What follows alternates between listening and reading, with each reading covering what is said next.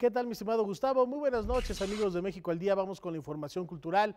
La Galería Kurimansuto nos abre una ventana al mundo del fotógrafo nipón Nobuyushi Araki, un universo de imágenes signadas por la tensión entre el amor y la muerte. El cuerpo femenino y el deseo de admirarlo es el centro de la obra del fotógrafo Nobuyoshi Araki. La Galería Kurimansuto trae a México una pequeña exposición del japonés.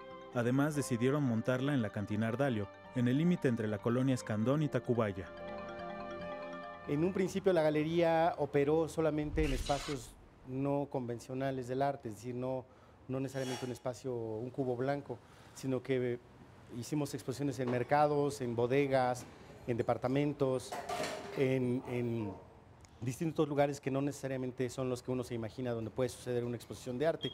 Entonces en este momento decidimos, quisimos hacer un proyecto con ese mismo, eh, esa misma voluntad. Las fotografías de Araki han sido exhibidas en diversas galerías y museos alrededor del mundo, pero también han sido duramente criticadas por quienes las consideran pornografía un diálogo entre Eros y Tánatos. Y uno de los conjuntos más destacados en la música contemporánea de México está de regreso. El Onyx Ensemble lanza un nuevo disco lleno de furia y de silencio. Onyx Ensemble presentó su séptima producción discográfica titulada Furia y Silencio, un trabajo que incluye obras de los compositores Charles Helka, Juan Pablo Contreras, Ana Lara y Sebastián Currier.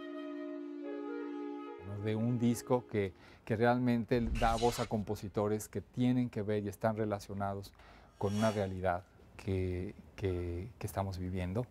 Se trata de una colección de piezas de compositores eh, que han, de México o que han escrito sobre México. En esta grabación, la agrupación hizo un homenaje a los ritmos tradicionales mexicanos con la pieza Por la Fuerza a las Tierras, de Charles Halka, que está inspirada en la Revolución. También hicieron una crítica a la violencia con la obra Silencio en Juárez, de Juan Pablo Contreras.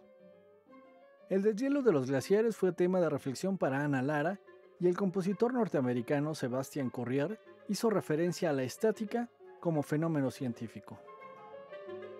De cualquier manera, la furia y el silencio integran cualquier propuesta musical y esta de Onyx no es la excepción. Hasta aquí la información, muchas gracias, muy buenas noches.